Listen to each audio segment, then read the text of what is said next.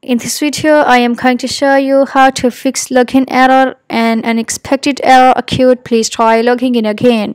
Let's start the video. Solution 1. Go to settings.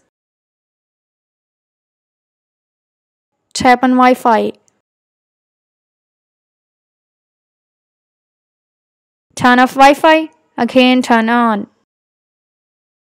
Join your internet.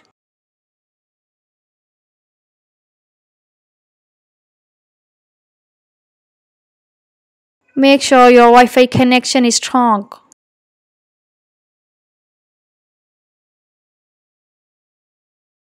Solution 2. Open your App Store. Tap on Picture Profile at the top right corner.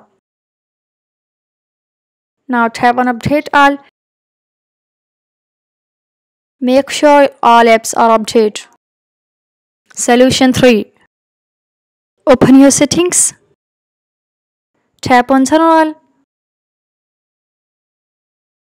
Tap on iPhone Storage.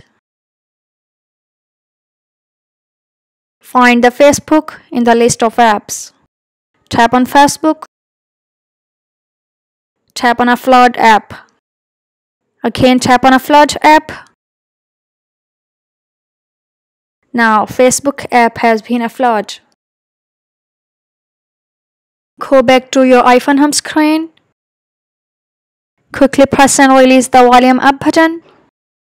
Quickly press and release the volume down button. Press and hold the side button. Drag the slide to power off. Press and hold the side button. Turn on your iPhone. Go to Settings app.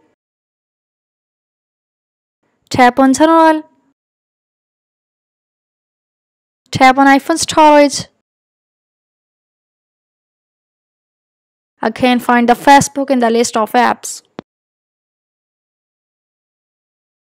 Tap on Facebook. Tap on Reinstall. Now your Facebook app is reinstalled. Go to Facebook.